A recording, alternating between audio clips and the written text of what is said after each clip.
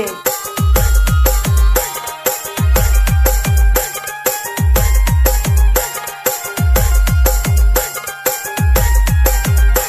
तेरे को कहा लगता था कि नहीं लौटेंगे।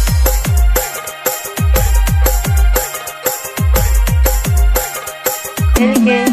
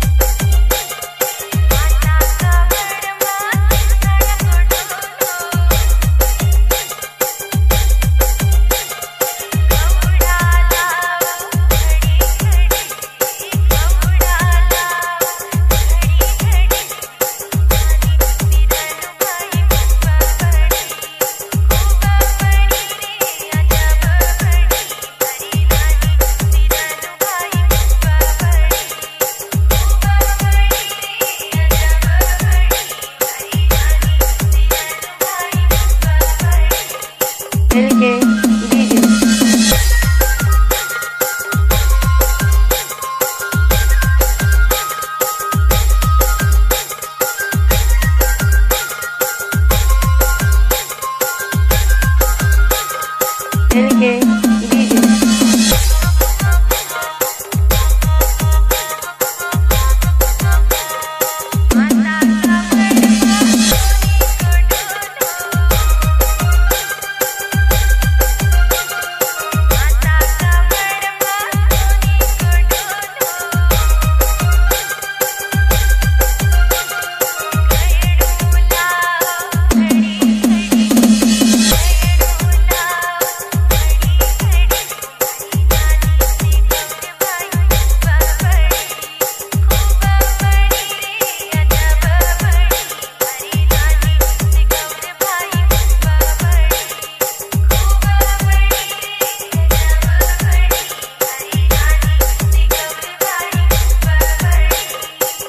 के